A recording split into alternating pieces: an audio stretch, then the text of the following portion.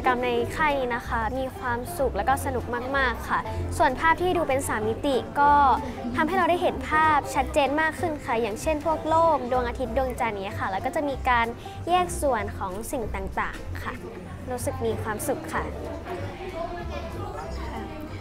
งานนี้ก็สนุกมากๆเลยค่ะ คุณ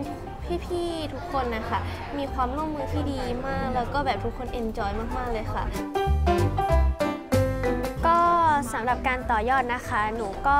อยากจะทำคลิปของ YouTube ของหนูอะค่ะ ให้ออกมาเป็น 3 มิติ แล้วก็ทำให้คลิปเนี่ยดูเข้าใจง่ายมากขึ้นค่ะ ส่วนเรื่องของ 3 มิติเนี่ยหนูก็อยากเอาไปพัฒนา หนูอยากทำเป็นโมเดลลูกโลก หรือว่าเป็นดวงอาทิตย์ ขึ้นมาเองในฉบับของหนูอะค่ะ นะคะของหนูอยากจะต่อยอดเป็นเกม เกมสามิติที่ทำเป็นหัวใจสามารถผ่าตัดได้ สามารถดูได้ว่าในนี้มันมีอะไรบ้าง ในนี้มันทำยังไงบ้าง แล้วก็อยากจะศึกษาไปเรื่อยๆค่ะสำหรับหนูหนูคิดว่าหนูอาจจะได้ไปฝึกฝนความรู้ได้มากกว่านี้ค่ะ แล้วก็ อาจจะไปดูคลิปวิดีโอ หรือว่าดูของเรื่องอวกาศได้มากกว่านี้ค่ะ เพราะว่าตอนนี้หนูก็ยังไม่ค่อยมีความรู้อะไรมากค่ะ หนูก็เลยคิดว่าหนูน่าจะไปฝึกฝนได้มากกว่านี้ค่ะ ก็ฝากจะทำให้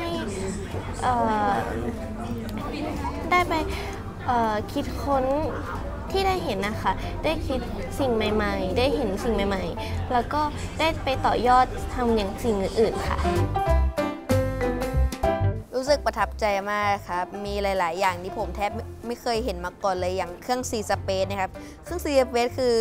มองจากภายนอกมันเป็นแค่คอมธรรมดา แต่ถ้าเกิดใส่แว่นนะครับมันจะมีแว่น 2 แบบก็คือ 2 มิติกับ 3 มิติ คือผมพอใส่แล้วคือผมตกใจมากเลยไม่คิดว่ามันจะแค่คอมอะไรแบบนี้มันจะทำอะไรแบบนี้ได้ขนาดนี้เลยครับ ได้หลายอย่างเลยครับเพราะว่าเพราะว่าที่ทางทางกิจทางแคมป์เนี่ยครับเขาให้เขาให้ เออเขาเขาเขาเรียกว่าเทคโนโลยีสมัยใหม่เลยครับ เพราะว่าสิ่งที่เขาใช้เนี่ยคือสามารถนำไปต่อยอดได้หลากหลายหลักสูตรเลยครับ อย่างเช่นเรื่องหมอวิทยาศาสตร์อะไรพวกนี้ครับ แรงบันดาลใจก็ถือว่าเป็นแรงบันดาลใจทางการทางการจัดตั้งแคมป์ครับคือรู้คือพอผมได้เรียนแล้วผมรู้สึกประทับใจมากเลยครับ ถ้าให้ผมเนี่ยอยากทำให้ไอแคมป์เนี่ยครับ สามารถต่อยอดไปในหลากหลายหลักสูตร แล้วก็มีวิชาอื่นๆด้วยครับหนูรู้สึกว่าการเรียนมันไม่ได้น่าเบื่อค่ะ ที่นี่มีเครื่อง C Space ที่เราสามารถที่จะเห็นระบบสุริยะในแบบ 3D ได้ค่ะ ซึ่งหนูชอบมันมาก แล้วเวลาหนูแบบทำกิจกรรมอยู่ค่ะ หนูได้เพื่อนใหม่เยอะแยะมากเลยค่ะแบบคนที่หนูไม่รู้จักชื่อหนูก็แบบไปถามชื่อเขาแล้วก็ make friend ได้ค่ะ ทย์หรือด้านแบวิทยาศาสตร์ในด้านอวกาศนะคะในด้านการแพทย์หนูเห็นในเครื่อง T Space เราสามารถที่จะดูแบบ Anatomy ในร่างกายของเราในแบบ 3D ได้ด้วยค่ะ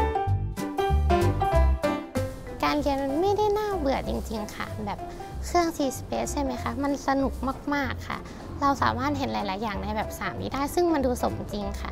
เช่นว่าใน Solar System ใช่ไหมคะ จริง ๆ ในชีวิตเราเนี่ย เราไม่สามารถ ที่จะขึ้นไปบนอวกาศ แล้วก็ไปดูพวกพวกดาวในแบบ 3D ได้ แต่ว่าเครื่อง T Space ทำให้มันเป็นจริงได้ค่ะ Uh, I'm impressed with with the laptop from SpaceX and how it look like a 3D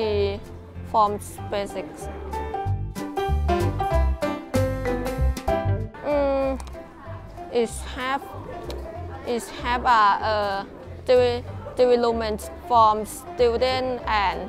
and more teacher because it have a laptop from development from the school. more people impressed with sea space because they have a 3D 3D activity and and they have a they have an activity from the student for for development for the more people. Well, as a STEM teacher, we are doing STEM all the time. So any opportunity that we have to do more of it is a absolute bonus. Definitely something that we want more of. Well, with the world being the way that it is, to utilize technology to bring things together, to bring the science environment to the students, I think is really helpful for them. It'll give them an opportunity to see things that they couldn't see before and to experience things that they would not have been able to experience before. And I'm sure it's the hope of everybody involved that this is going to get them excited about doing this kind of work in the future.